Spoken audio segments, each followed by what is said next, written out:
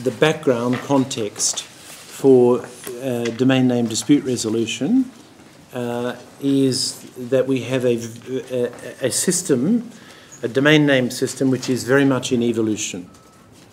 Uh, uh so, in particular, I refer to the expansion of the domain name space by the addition of new generic top level domains, you know, like what is to the right of the dot, like dot .com, and what is not associated with a country, like dot .ch, you know.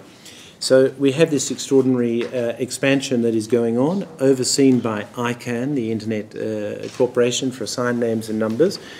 They received over um, 1,930, nearly 2,000 uh, applications for around 1,400 new top level domains. Uh, and they've started the rollout of that process, um, and they uh, have uh, delegated or uh, authorized the operation of 160 new so far. So far, so far 160. So that uh, is going to have an impact which is likely to be significant on trademark protection. Uh, exact nature of the impact we are unsure of at this stage, uh, but it is likely to be significant and disruptive.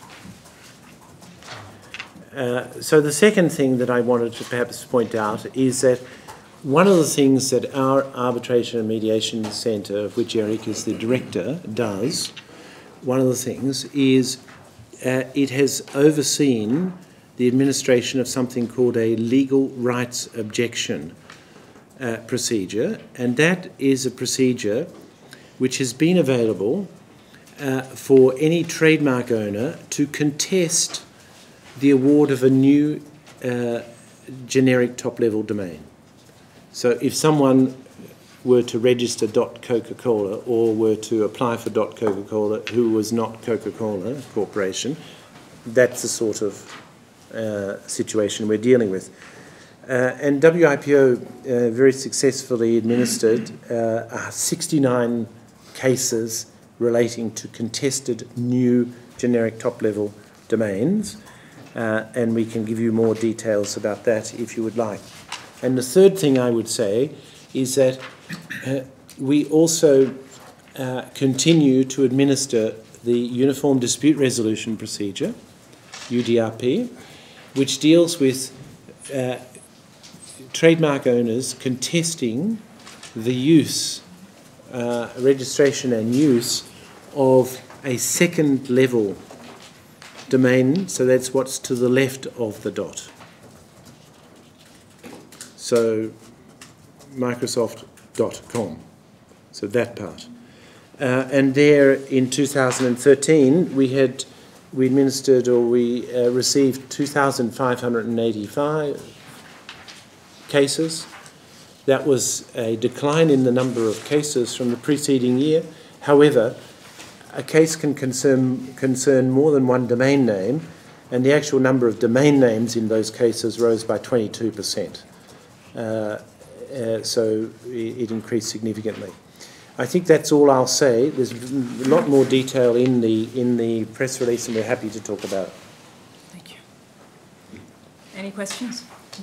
Excuse me, um, Isabel Sacco for Spanish sure. Agency. Uh, could you um, elaborate on these uh, generic uh, names uh, yeah. and what are the names that are coming authorized, authorized mm. and that are being asked to be registered in the system for, uh, by WIPO uh, that appears to be uh, new and that most of people doesn't know don't know.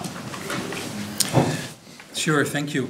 Um, as the Director General mentioned, the, the total outlay is that, uh, is that um, applications were received by the authority for the domain name system called ICANN um, in a total number of something like, uh, I believe, 1900 or so. But those 1900 were actually for 1400, 1400 unique top levels, unique strings, as they say. That means that among the applicants, there were some that were trying to compete, that were competing for the same, for obtaining the rights to exploit the same top level. So in the end, you're looking at a, uh, a maximum potential expansion now of 1,400 new top levels. ICANN is uh, going through this approval process for these new top levels, which includes, for example, the, the legal rights objection procedure, which the Director General just mentioned. And as the Director General also mentioned, as to the best of our knowledge, which comes essentially from ICANN, um, something like 160, less than 200, have been approved out of those, let's say, 1,400, uh, as of more or less early March. Uh, we have, I believe, included a reference for you to a web location which is actually on ICANN's own website. On that website, you will find, first of all, all of the 1,400 applied for strings or if you like, also the 1900 distinct applicants. Um, and secondly, you will find also a more or less up-to-date running total of the domains as they become approved, including the 160 that we just mentioned. Yeah. Can you give examples? Examples, yes. yes. yes we can. And um, to which domains they are related? I mean, for example, com related, relates more to commercial, to businesses, uh, yes. countries, uh, I don't know. Yes, well, it's, it's exactly. It's it's it's uh, pretty much everything under the sun, to so to say. So it's always a little bit hard to single out some uh, from uh, under the sun. But um, um, if we look at only if we will only look at the list of the ones that have been approved, then uh, the first thing to note is that those domains will not all be in the same sort of Roman script that you know that I would recognize. Um, but there are also top-level strings domains that will be uh, in Arabic, that are in uh, Chinese, Mandarin, uh, that are in Japanese, that are in Cyrillic, and so on and so forth. And that is perhaps one comment to make first off, because it shows, again, the internationalization of the expansion of the top levels beyond the fact that every domain by definition spreads across the border. So that's one thing uh, up front. And there are examples for this. Uh, for example, on the list here I see a Chinese term for the, the word world. I see a Chinese term for the world for the word agencies and institutions, for organization, which is in fact the Chinese equivalent for .org. Mm-hmm. Uh, there's Russian for .org. .org, as you know, is one of the existing domains. The list goes on. Another category that I can single out is geographical terms. We have here on the approved list Köln, which is Cologne, the city in Germany. We have Okinawa. I believe that probably Tokyo or Berlin are already in here as well. I would have to check that. It's on the list. It would be on the list. Um, that's a second category that I think is, is remarkable. A third category would be, um, in fact, trademarks themselves. So, for example, I believe that there's the Korean equivalent for Samsung. There is, yes, dot Berlin is on the list, by the way. Dot Wien, dot, that's the German word for Vienna, as you would know. Uh, there are quite a few trademarks uh, among the 1400, um, and you'll find them in this list. Let me see if I can single there is, out a couple uh, Dot Tienda. Um, so that's another category, and I think it's an important category because, um, first of all, I think that their total number among the 1400 is uh, is over a third. So it's um, that in itself also is going to be having some impact on the way that the domain name system is being perceived and used by itself. And then the fourth category, not in that order, because quite possibly the most important in number, uh, are kind of uh, are domains which are intended to be used for their generic, for their dictionary meaning. And that the list is full of that. You'll see .bid, B-I-D, .vote. Uh, you'll see .best. You'll see dot dating, all random examples, dot flights, dot cards, the, dot football, the list goes on. Um, that is probably the that's the category of domains, the latter that comes closest to what you mentioned, which is, for example, dot com. Over here. John.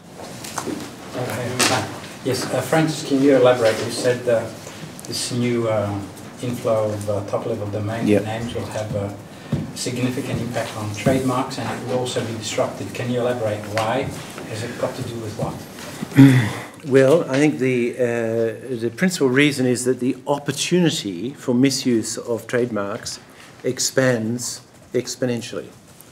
So uh, there is no filtering procedure for obtaining a domain name registration.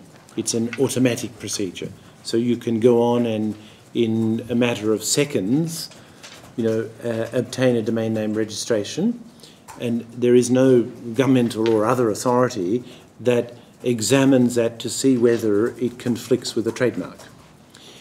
Uh, and when you multiply the number of possibilities for registering domain names so that you can't register it just in .com, where it may have been taken by a trademark owner, but you can register it across 1400 or 2000 or 10,000 or 50,000 different domains, you increase the opportunity for uh, registering registrations by persons who are not authorised to use the trademark. I think it's as simple as that.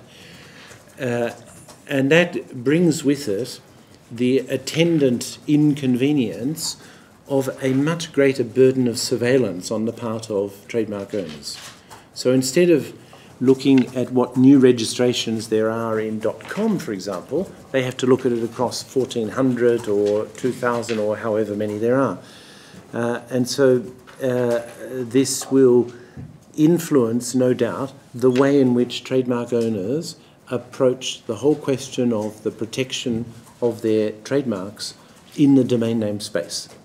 You know, just how many resources can they devote to surveillance or monitoring of allegedly infringing, infringing domain name registrations becomes the question for them what sort of uh, strategies do they adopt? Do they try to register their trademark in every single new domain, 1400 or 2000 or whatever it might be? Do they oppose every single uh, allegedly infringing trademark registration? You know, I think these are really difficult questions of strategy for uh, trademark owners in this evolving and expanding space. But if I may have a follow-up, does this mean that the ICANN process is badly managed because they're in charge of this. And well, I'm not saying that. No, I think that's the implication here. Uh, I think that um, uh, what one can say is that is that trademark owners are very concerned about the impact that this expansion will have on branding systems.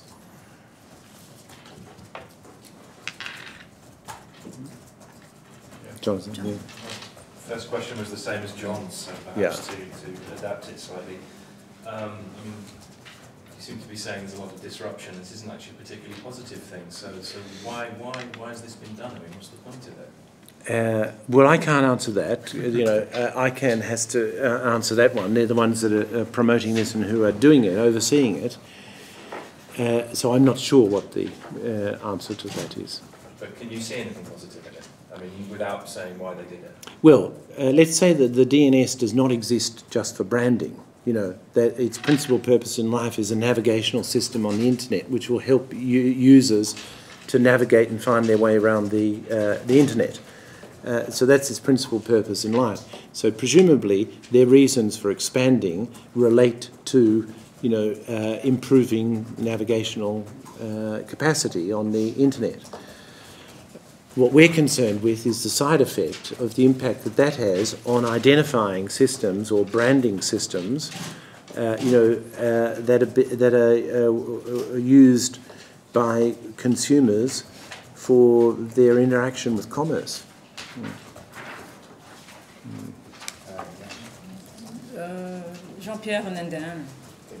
Did, did, you try to prevent this from happening? Why did you fail? Um, I think that you'll find that a lot of trademark owners have, uh, and owners associations, have expressed concern to ICANN. And what we have done is we don't consider it to be our business to mm, take a position on the navigational system or internet governance, but our position is to uh, try to ensure that intellectual property is respected in on the internet in the same way as it's respected in the physical world.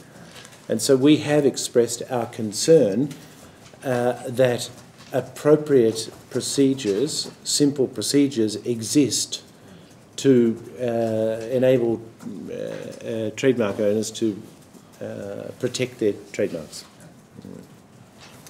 Dan. Yes, I I was wondering, uh, Francis, about, first of all, uh, Erik can answer this, uh, will the WIPO Center's role in dealing with these new disputes, the new GTLs, be exactly the same as it is currently? Or does that change in any way? Does your, does your role change at all? I imagine you'll be sharing, um, as exists now, with other centers, there'll be other centers which can offer arbitration. Um, And I was wondering, when do you expect this wave to break in terms of new, uh, new disputes involving these uh, new GT, T, sorry, new top level names, that way? I mean, you have 160 granted, and none of them are operating as far as, as far as I know, I don't know if that's correct or not, but, you know, when will these become operational, and when do you expect the first wave of uh, disputes to come flooding in? Go Shall I ahead, take. Yeah. Yeah, yeah, yeah. Well, thank you, Dan. Um, of course, uh, much of what we discuss uh, in this and, and other issues uh, is somewhat speculative, but uh, first maybe let's go to what do we do today and what have we been traditionally doing on domain names uh, in terms of cases and where might it go.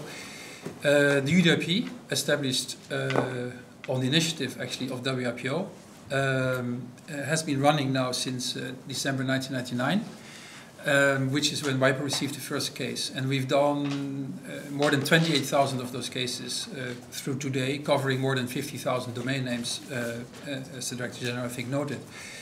That is an activity that will continue also for the new domains. So every single one of these new up to 1400 it will also be subject to the possibility for trademark owners to keep filing a UDRP case, number one. Number two, we actually have begun now to receive the first cases under UDRP in relation to the first of these newly approved domains. I think one of them is referred to, but not by name in the press release, but I can, I'm, I'm happy to give you the name. The first case that was received um, among any provider, as far as we uh, can tell, uh, in relation to new domains under UDRP is uh, relating to the word uh, canyon, the registration canyon, like the Grand Canyon, uh, canyon.bike. And uh, on the website of WIPO, you will find it. You can search for it under that name, or you can search for it under the case number 2014 hyphen 0206. So that makes it the 206th case of this year. And uh, that case was filed by a, a, trademark owner from Germany against an individual who I believe uh, is based in the Netherlands. And we expect a decision in that case, a UDRP decision to come out in that case, uh, probably in the course of next week. Um, since then, First Yes. the yes, well, it's the first case, and it will probably also be the first decision. What's the argument of the contestant? Why is he contesting it? Well, um, what we do not do is we do not post complaints and we do not post responses in the case. So, uh, what I can say is is that uh, you know But we although do that will post the judgment. clear. Judgment. Yes, although We do post the judgment, and that will. No, but what is the, the person contesting the registration, what, what's Yeah, I understand. So, so while we are not, you know, uh, in normally in a position f on any case that is pending to say, okay, this is exactly what this party says and this is what that party uh, defends with. Um, first of all, as the Director General notes, once the decision is out, that will essentially, of course, summarize and discuss the facts and contentions. Number one. Number two, But in the the best- process, the Yeah. process is transparent from the beginning, so what is the complaint here? well, the, uh, the, the But second what point he's I saying is to it's say, actually before the publication of the judgment, all that you have You is file the a- you case. file a complaint. Yeah, but that That's complaint is not published. Yeah, No, so- Why not? So- so- Uh, because it's not published until uh, So until the the judgment not does. transparent from the Mm, beginning? I wouldn't say that. I mean, the judgment puts out all the arguments. No, but the filing should be public from the beginning, the way Yeah. in most courts. Well, let, let me let me answer that in, in this way. Um, first of all, of course, this is not a court; it's an alternative to the court, and it adds to it, and it leaves open the court option. Number one. Uh, number two, it is highly transparent in that everything will come out once the decision is there. But there are policy reasons why we do not post people's allegations before that. First of all, because allegations have to be uh, uh, assessed independently. That's a very important point of justice, uh, part of transparency in a sense. Number one. Number two, it is our experience, and we think that's a positive thing, that not posting too much information about the case up front stimulates the chances that the parties will settle. Why will they settle? Because it's an opportunity for them to stay off the internet with whatever the conduct was on either side of the case. So there's a policy reason too, which actually we think is a healthy one.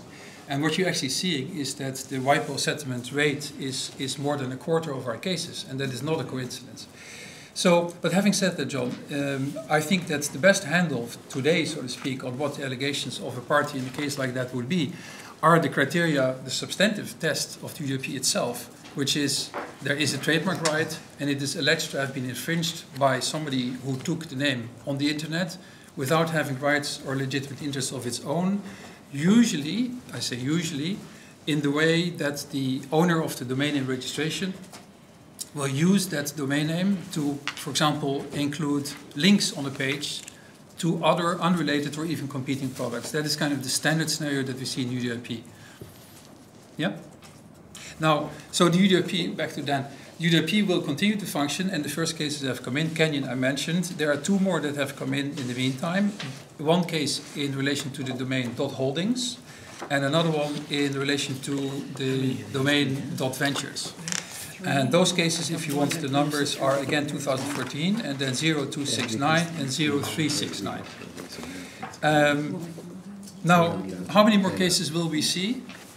That's a matter of speculation entirely. Because, on the one hand, I think what you will see is that, as the Director General has noted, trademark owners will have to be much more focused than they already are in what they will address with their, under their enforcement strategies. You cannot keep shooting at everything that moves in an expanding domain name system, not even today.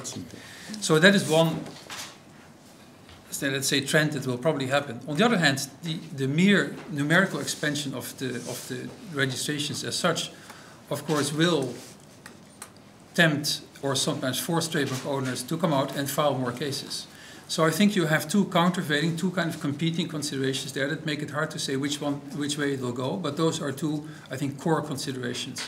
More selectivity, but at the same time, probably more need to, in any event, still target certain types of registrations. Um, it's, it's, a long time since I traded with, uh, with the disputes at Value, but uh, my, my question is just, do you have any means to, to enforce your, your decisions? When, yeah. Yes. Uh, short answer. Longer answer. Uh, it's a contractual system.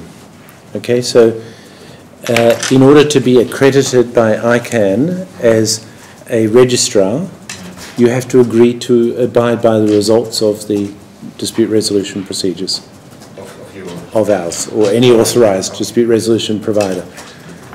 So we give the decision, the decision is notified uh, to the provider, and the provider must respect the terms of uh, the, its contractual obligation to abide by the I just just combining just to just one more thought that combines essentially the question that you had earlier with what Dan is mentioning, But which what, what Dan has been asking. The question: What has WIPO been doing with ICANN in the face of this expansion? Director General has noted how concerns have been shared in terms of the policies administered beyond the UDRP, there's a new policy which has been established by ICANN essentially on the initiative of WIPO, which is called, with a rather technical term, a post-delegation dispute resolution policy. And what is that? That is a policy that allows trademark owners going forward to also file cases not just as under the UDRP against second level registrations, but also against the operators of these new domains if those operators themselves are thought to uh, stimulate or actually uh, actively uh, infringe trademark owners in the way that they operate the new top level domain. So the idea of that procedure, although there are many safeguards and conditions that trademark owners will have to meet to be successful in it, but the idea of that procedure is to zoom out a bit from this need to target second level registrations and see whether uh, whether perhaps certain domains themselves um, are perhaps contributing in a, in a rather obvious manner to these infringements that are happening on the second level. So that is an additional mechanism which, uh, which is in place and where we will see whether we uh, will get cases in that or not. It's going to take time, of course, because these domains need to become truly operational in the market. Is this uh, WIPO policy position available on your website that you submitted to, uh, to ICANN? Uh, in relation to what? To this uh, new issue on trademarks? I, I will send to you uh, after this a link to our correspondence with ICANN, which is all on the website, and it includes uh, correspondence about this very mechanism.